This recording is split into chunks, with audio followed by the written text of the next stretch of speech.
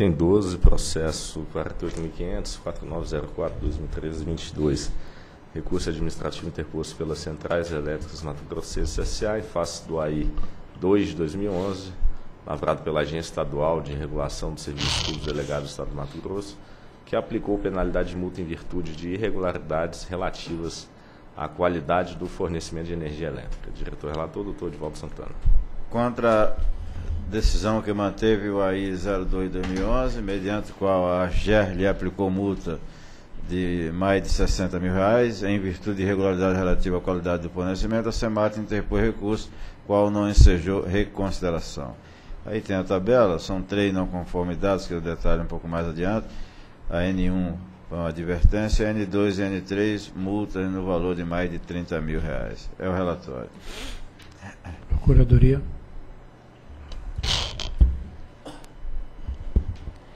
Aqui também não, não houve consulta à Procuradoria, então é, opina-se aqui pela manutenção do auto de infração, mas em se tratando de, de uma empresa que está sob intervenção, que o despacho também contenha a, a decisão de suspensão da exigibilidade da, da cobrança até o fim da intervenção.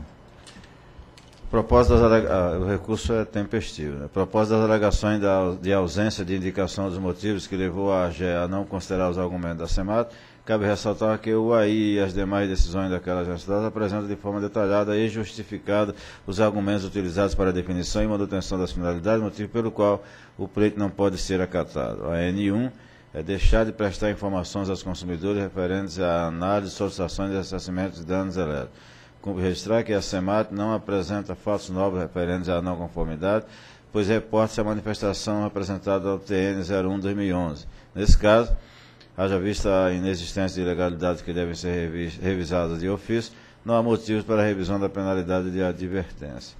A N2, que é o descumprimento de metas relativos a indicadores de continuidade, quanto à alegação de que a, de que a SEMAT estava sendo penalizada duas vezes pelo mesmo fato gerador, uma vez que as interrupções ocorridas cuja frequência e duração ultrapassaram o limite fixado para o DIC, FIC e DEMIC dos consumidores conjuntos em foco, já foram devidamente compensados na forma de, de, definida pelo PRODIST, que é o ressarcimento, deve ser presente que a natureza dos ônus imputados à empresa é distinta, pois a multa aplicada pela AGE possui caráter punitivo, com vista a garantir a qualidade do serviço e a compensação creditada aos consumidores consiste em, em exceção de contrato exceção de contrato não cumprido decorrendo de inadequação do serviço prestado e não em penalidade, motivo pelo qual o pleito não pode ser acatado.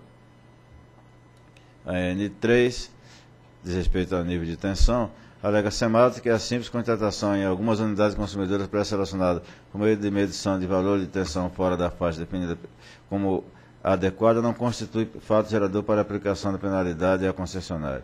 Cabe registrar que as medições consideradas como precárias são de unidades consumidoras que prestam serviços essenciais à população e que mais da metade das medições realizadas em perímetro urbano apresentou leitura nessa faixa, o que evidencia o serviço inadequado prestado pela SEMAR. Cumpre esclarecer que os parâmetros que norteiam a aplicação de multa pela ANEL constam da Lei 942796, a qual determina que a penalidade seja fixada dentro do limite máximo, no caso de 2%. Sim, Deve ser presente que o auto de infração lavado pela AGE apresenta de forma detalhada e justificada a definição da dosimetria, observado o que estabelece a resolução normativa 63 de 2004, razão pela qual o pleito da SEMAD de revisão da penalidade não pode ser atendido. Revisão da dosimetria, né? Conversão de multa em advertência. Quanto ao pedido de conversão da multa em advertência, deve ter presente que não são de pequeno potencial ofensivo as não conformidades apenadas, motivo pelo qual não está atendido o requisito disposto no artigo 8 da Resolução Normativa 63 de 2004. Haja visto que a SEMAT está sob intervenção administrativa, como esclarecer que, conforme decisão da diretoria, a exigibilidade dos créditos constituídos será suspensa até o fim da intervenção. Do exposto, considerando que consta o processo, voto por conhecer e negar provimento ao recurso interposto pela SEMAT contra a decisão que manteve o AI 02 de 2011, da AGE, a fim de manter a penalidade de advertência e multa de R$ 60.294,94, a qual deverá ser atualizada nos termos da legislação vigente. É o voto. Em discussão.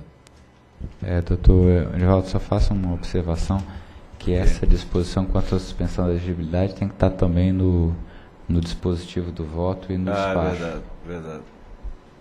Farei isso.